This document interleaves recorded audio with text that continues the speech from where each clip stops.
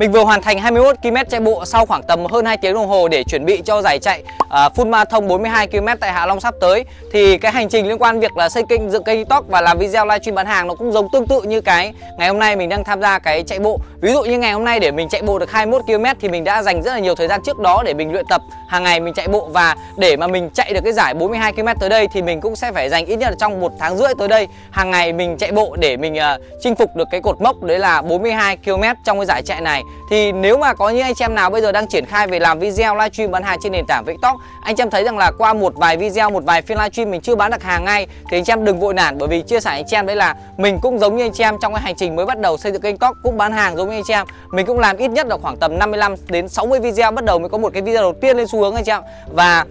những anh chị em bây giờ đang mới bắt đầu làm video thì mình cần phải liên tục làm video mình liên tục livestream giống như hành trình mình đang chạy bộ ở đây. Mình phải liên tục uh, chạy bộ mỗi ngày liên tục chạy bộ mỗi ngày và mình nâng dần những cái kỹ năng bản thân lên. Thì dần dần qua những ngày tháng luyện tập thì mình sẽ làm video hay hơn mình sẽ làm livestream hay hơn và mình sẽ bán hàng tốt hơn và mình cũng sẽ chạy bộ được tốt hơn mỗi ngày. Và chỉ còn là 4 tháng nữa là đến Tết rồi và thông thường thì qua cái đợt cuối năm thì cái hành vi mua sắm được đẩy lên rất là cao. Và để mà anh chị em thúc đẩy được doanh số cuối năm thì anh chị em phải tích cực đẩy từ bây giờ mình làm video, livestream để hoàn thiện những cái kỹ năng của bản thân mình lên. Chúc tất cả anh chị em cuối năm nay đột phá doanh số anh chị em nha